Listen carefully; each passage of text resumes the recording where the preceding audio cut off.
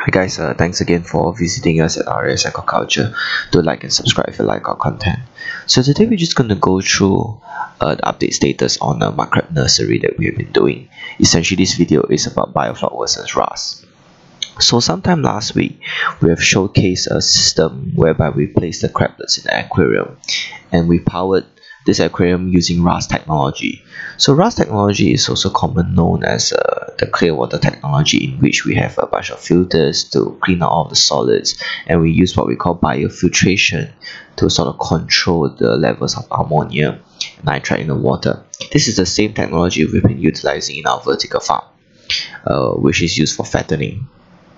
So in this video, uh, we'll be also showing you one of the trials that we have been doing which we use a rectangular tank and we place the crablets in.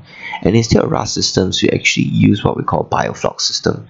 So biofloc is used to capture the ammonia in the water and then reset resettle into the water column. And this we have extra feed for the crabs. So this is a upcoming uh, new technology that we've been seeing in the market. So just to recap uh, we got the crablet sometime uh, less than a month ago. Uh, so the crablet you can see it's pretty small. And this uh, glass that we're holding it is the standard test kit from test kit uh, glass tubes uh, from Sera so just to show you a comparison of uh, when the crabs just got into the system. And this is currently the current status uh, for the my crabs.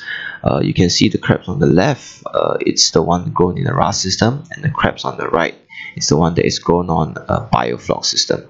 So the biofloc system uh, have shown to be more promising because uh, the crablets are actually much bigger, about 20% bigger than the ones that are grown in the RAS system, probably due to the supplemental feed that the biofloc brings to the crab.